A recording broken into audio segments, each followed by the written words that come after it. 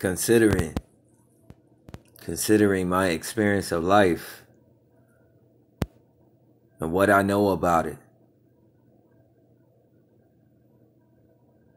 is twofold because I know that life is good and I know that the spirit of God is good and the spirit of life is good. But my knowledge of life and what I've experienced here has been evil. Therefore, my knowledge is evil. And in this thing, would that not make me an evil man? Wouldn't my head be filled with evil?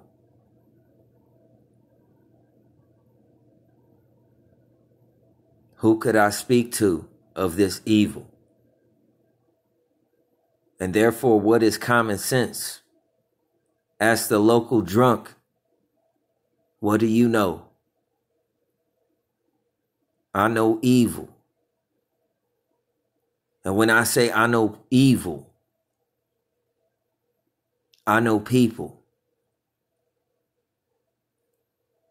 And if I know people in common sense, then I know what people know. I tried running from the hive. I wasn't included.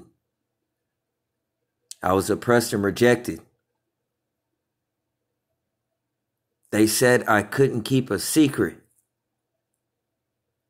But what secret would I need to keep to have knowledge? Could they possibly know more evil than me?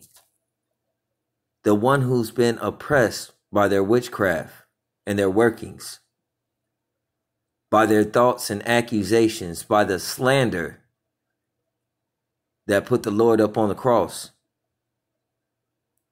Do they consider what they know? And if they have a secret, they have not. So, what knowledge is there that one can keep? That if you ask them what they know, they seem to never know nothing.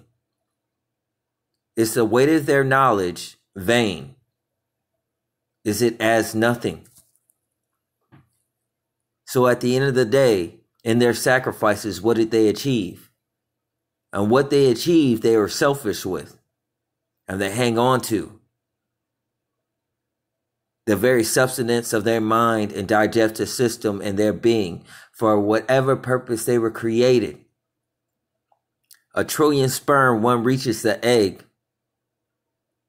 They were born a quarter, not worth more than a gumball. A thought you could chew on.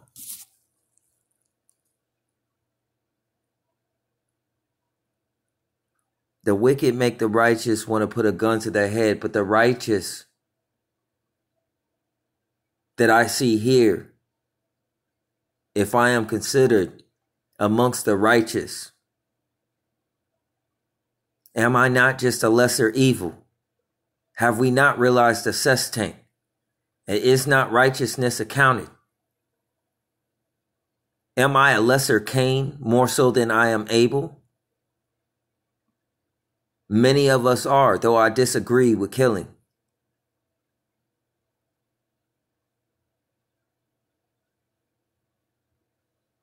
I mean well, I have good intentions, I help others.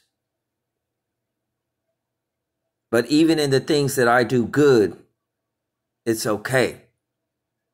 Even though here in this earth is excellent. What my hand can't offer, it's the same story as Cain, though I try.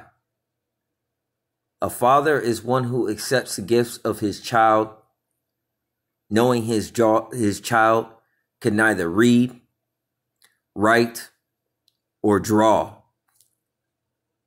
What is the weight of a heart? And does it weigh as much as a quarter? Peace.